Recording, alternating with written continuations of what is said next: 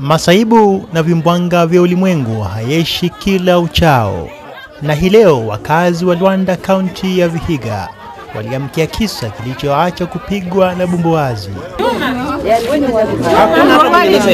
Mwanamume mmoja mwenye umri wa makamo alitenda kioja cha mwaka baada ya penzi baina yake na barafu wake wa roho kutumbukia nyongo.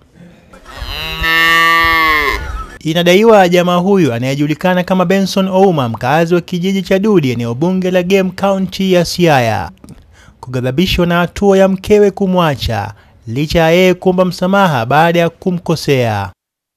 Lakini mkewe hakutaka kusikia la mwadhini wala la mteka maji msikitini, na akaamua kufunganya kila kilicho chake katika boma hili na kwenda kutafuta makazi mapya. Nikatoka hapo nikaishi na yeye, nikatoka yale nikaishi na yeye huko kwao. Vile kuishi ilikuwa mbaya, sasa kaning'oa meno nikatoka. Na kwa vile mahaba ni matamu na uchungu wake ajiwaye muhusika, mume akaamua kusalimu amri na kuamua kumpa kila alichokitaja kuwa ni chake. Amini usiamini, akaamua kufukua maiti ya mtoto aliyefariki akiwa na umri wa miaka miwili na kuibeba kwenye gunia na kuisafirisha hadi Luanda, takriban umbali wa kilomita 30 kutoka alikozikwa. Kisa na maana, alikuwa ni mtoto wake wa kambo. Vile nilikuja Luanda, sasa nimemaliza wiki tatu, ndio ameniletea maiti. Sasa kuamuka, sikuwa najua kenye kinetendeka. Nilisikia tu jirani wangu akiniita ati nimeona ule kijana akikimbia. Vile nilifungua mlango, napata sanduku kwa mlango kama imesimamishwa, imewekwa ndani ya gunia. Vile niliuliza Sara, ni nani mwenye unasema? Ananiambia ati ule bwana yako mwenye alikuja hapa na anti yake.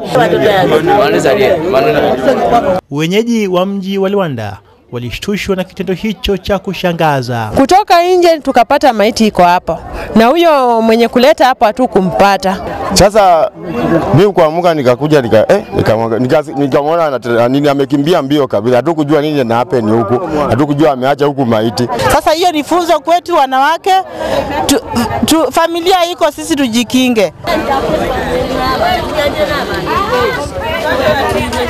Maafisa wa polisi wa kituo cha Luanda waliandamana na mama huyo kumsaka mpenziwe wa zamani, lakini wakapata tayari amekwisha chanja mbuga.